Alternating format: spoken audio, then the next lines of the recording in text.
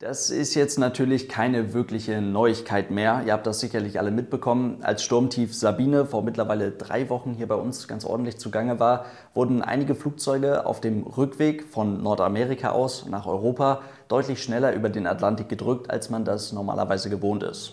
Und so kam es jetzt dazu, dass ein neuer Geschwindigkeitsrekord aufgestellt werden konnte für die Verbindung von New York nach London. Und das bringt so ein kleines bisschen Erklärungsbedarf mit sich und da kümmern wir uns heute mal ganz genau drum. Viel Spaß! Und damit hallo und ganz herzlich willkommen. Ich hoffe, es geht euch gut. Ich war echt ganz ordentlich überrascht, wie das alles im Internet mit dieser Nachricht über den 747-Rekordflug abgegangen ist, wie viele Zeitungen und Internet-Newsportale sich darum gekümmert haben. Das war ziemlich interessant zu beobachten. Aber der Unterschied, den man jetzt erzielen konnte im Vergleich zum vorherigen Rekord, der ist auch echt nicht ganz ohne. Vielleicht erinnert ihr euch noch dran, der wurde im Jahr 2018 aufgestellt von einer Norwegian 787. Da hatte man für die Strecke 5 Stunden und 13 Minuten benötigt, was schon echt richtig fix ist. Aber jetzt hat man es eben geschafft, diese Verbindung in unter 5 Stunden zu fliegen. Erstmals. Das heißt, man ist schneller von New York aus zurück nach London geflogen, als an einem schlechten Tag von Hamburg aus in den Urlaub auf die Kanaren. Das kann durchaus mal ein bisschen länger als fünf Stunden dauern.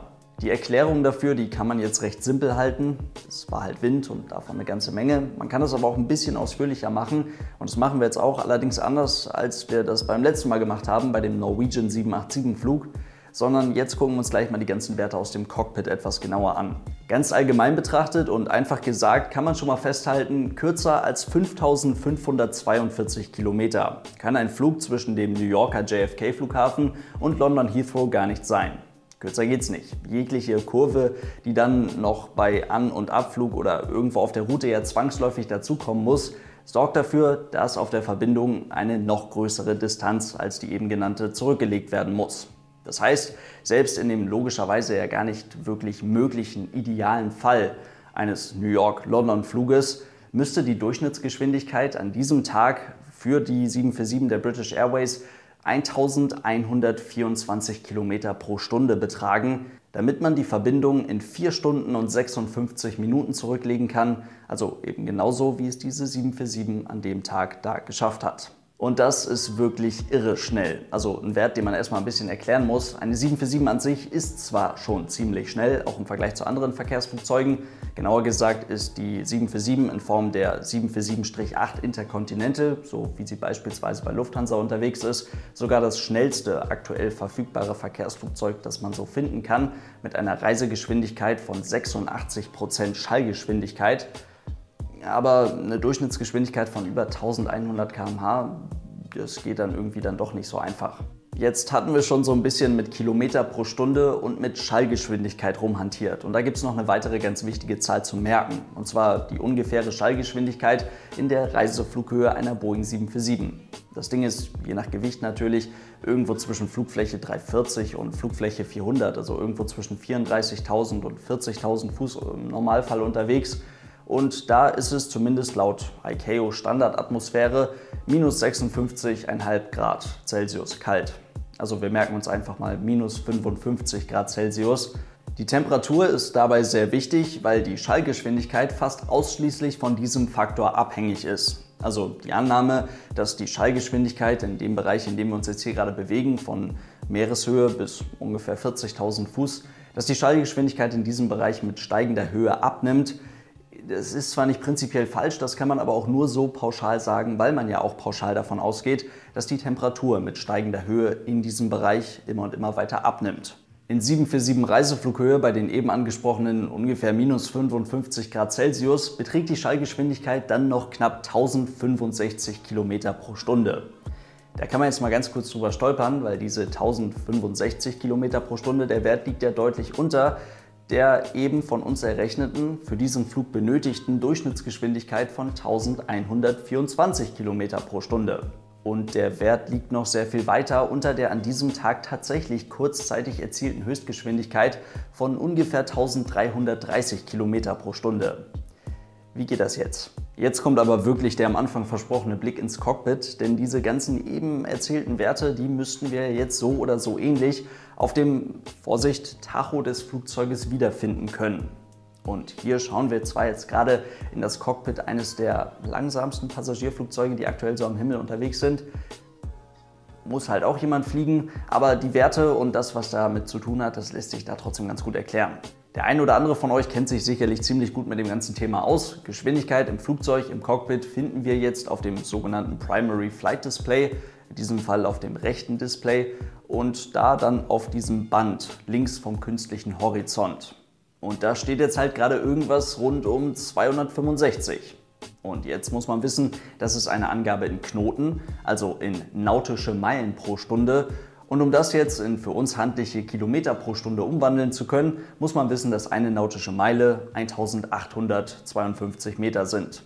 Also 265 mal 1,852 und dann kommen wir irgendwo raus bei einer Geschwindigkeit von ungefähr 490 Kilometer pro Stunde. Und das ist echt richtig ordentlich weit weg von den ganzen Werten, die wir uns eben angeschaut haben. Wir müssen da jetzt aber auch gar nicht so super tief ins Detail gehen. Das, was da angezeigt wird, das ist die sogenannte Indicated Airspeed, beziehungsweise hier in solch vergleichsweise modernen Verkehrsflugzeugen direkt die Calibrated Airspeed. Gemessen wird sie durch das Pitot-Statiksystem des Flugzeuges, aber im Endeffekt geht es ja ganz einfach um den sogenannten dynamischen Druck. Dynamischer Druck ist das, was ihr spüren könnt, wenn ihr einfach mal auf der Autobahn die Hand aus dem Fenster haltet. Wenn ihr das jetzt bei 490 Stundenkilometern macht, dann spürt ihr ungefähr das, was das Flugzeug in Anführungszeichen bei unserem Beispiel spürt. Ist auch ein sehr deutscher Autobahnvergleich. Ne? Aber gut, hier geht es ganz einfach darum, je höher der dynamische Druck, desto schneller ist das Flugzeug ja auch gerade und desto höher dann dementsprechend auch der angezeigte Wert. Hat halt einen Haken und zwar nimmt die Dichte der Luft mit steigender Höhe ab. Zur Verdeutlichung, nur mal so zum drüber nachdenken, werden jetzt hier an dieser Stelle im Cockpit 265 Knoten in Bodennähe und in Reiseflughöhe angezeigt, also ein und derselbe Wert, dann muss das Flugzeug auf dem Weg zur Reiseflughöhe, also im Steigflug, deutlich schneller geworden sein. Für Aerodynamik und das eigentliche Fliegen an sich ist der Wert da natürlich total interessant, aber um in unter fünf Stunden über den Atlantik zu bügeln, ist das, was da steht, tatsächlich völlig egal. Also schauen wir mal ein bisschen weiter und finden auf demselben Display eine 0,78. Und eventuell erinnert ihr euch, da geht es um Schallgeschwindigkeit, also das, was ihr da seht, das ist der Ort, wo dann bei der 747 auch tatsächlich mal 0,86 stehen kann, wenn man es ein kleines bisschen drauf anlegt. Jetzt sind wir eben schon so ein bisschen drüber gestolpert, dass die kurzzeitig an diesem Tag von der 747 erzielten ungefähr 1330 Km pro Stunde Höchstgeschwindigkeit deutlich über den 1065 Km pro Stunde, also über der Schallgeschwindigkeit liegen. Und jetzt steht da auch noch 0,78, also 78 Prozent der Schallgeschwindigkeit und dann kommen wir auf ziemlich lächerliche 830 Kilometer pro Stunde. Bei der 747 mit 0,86 wären das dann ungefähr 915 Kilometer pro Stunde. Ist ja beides irgendwie nichts. Aber wir kommen schon mal ein gutes Stück näher dran. Die Schallgeschwindigkeit an sich ist jetzt aber auch wieder ziemlich relevant für das eigentliche Fliegen des Flugzeuges und für die Aerodynamik denn die Höchstgeschwindigkeit von solchen Verkehrsflugzeugen wird ab einer gewissen Flughöhe in Prozent der Schallgeschwindigkeit angegeben. Das hat nochmal einen ganz eigenen Grund, der ist jetzt hier aber vollkommen egal. Aber die Werte sind fürs Fliegen, deswegen stehen Indicated Airspeed bzw. Calibrated Airspeed in diesem Fall und auch die Schallgeschwindigkeit auf dem sogenannten Primary Flight Display.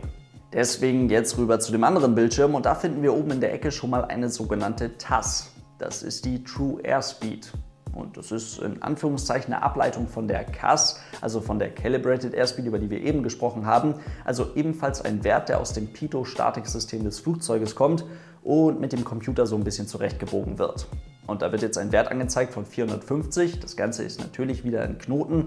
Das heißt, wir bauen das wieder um in für uns handliche Kilometer pro Stunde und kommen dann bei ungefähr 830 Stundenkilometern raus. Und das ist ja ziemlich genau der Wert, den wir da gerade aus den Mach 0,78, also aus den 78 Prozent der Schallgeschwindigkeit rausgezogen haben.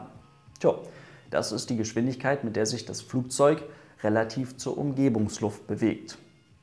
Klingt schon mal recht logisch. Neben der True Airspeed ebenfalls da oben in der Ecke stand jetzt ja aber noch ein weiterer Wert und das ist die sogenannte Ground Speed, die Geschwindigkeit des Flugzeuges relativ zum Boden. Und das ist jetzt bei modernen Verkehrsflugzeugen wirklich ganz cool abzulesen mit der darunter liegenden Windanzeige, denn die Ground Speed in unserem Beispiel ist etwas niedriger als die True Airspeed und das liegt an einer Gegenwindkomponente von hier ungefähr 16 Knoten, also von ungefähr 30 Stundenkilometern.